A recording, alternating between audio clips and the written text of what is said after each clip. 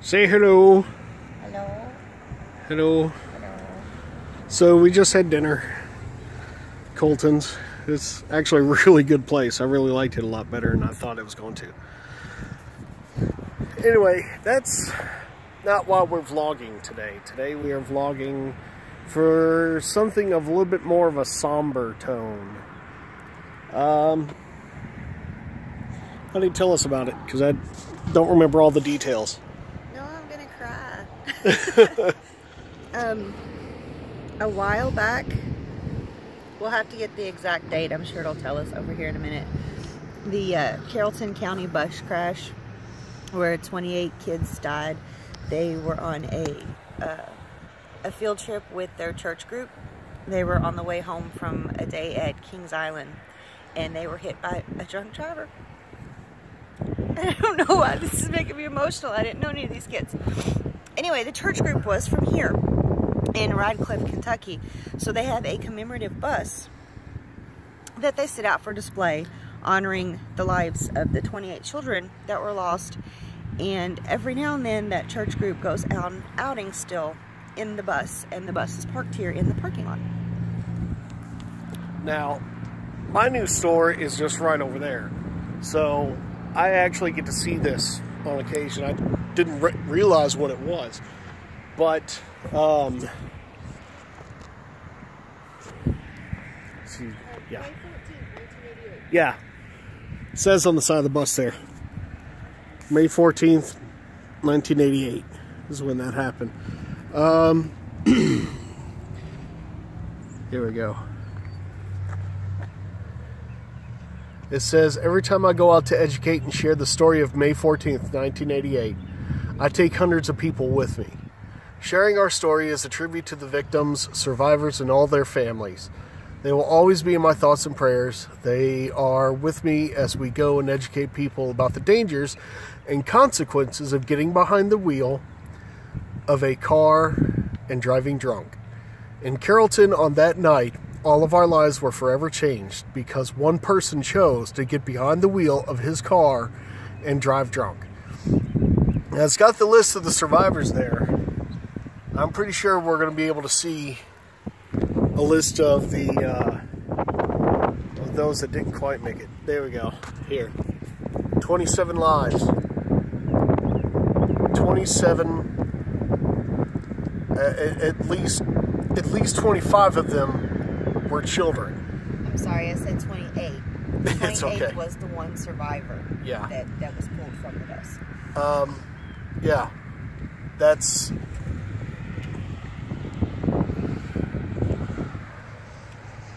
There they have a picture of the bus after it was crashed.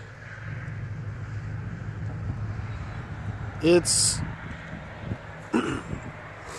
it's a terrifying idea, you know, and I don't expect everyone to understand because, well, I mean, there's a lot of pessimism and nihilism that seems to be popular these days when it comes to people that have kids and, you know, as famously joked about in Family Guy, you know, once you have a kid, you're never the same.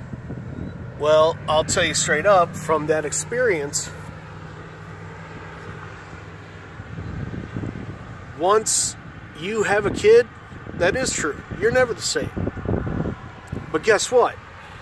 Once you lose that kid to something as senseless and angering and just just a dumb decision as drinking and driving, then th- there's no explaining that hurt. There's no explaining that pain. You know, and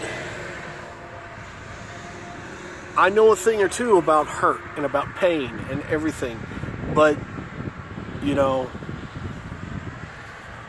I still couldn't imagine losing one of my kids to something like this. Anyway, yeah.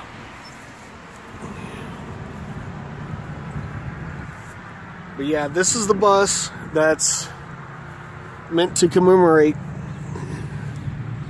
this this uh, horrible accident that happened, and it's something that we all, all have to keep in mind, so that something like this never happens again. And unfortunately, it happens a little too much. And as you can see, May 14th, 1988,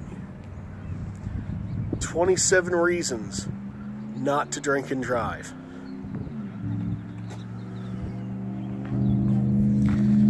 And the thing is, is that most of the time, if you're drunk,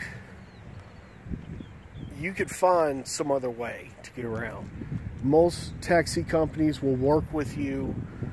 Um, you could find someone who's willing to be just a little bit more I, I don't know. You can find a ride.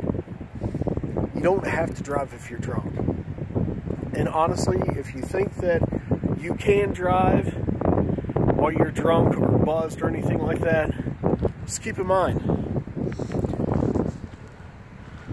that guy there thought that he was only mildly buzzed when he decided to take 27 lives.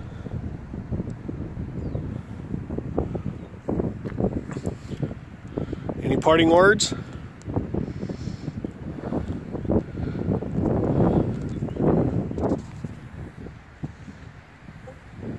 Definitely less alcohol, more coffee. Definitely. See, that's that's the thing is that a lot of people don't seem to understand why I say that. Honestly. Alright, here's the thing alcohol, drugs, all that other stuff has taken so much from me. And it's taken so much from Stacey.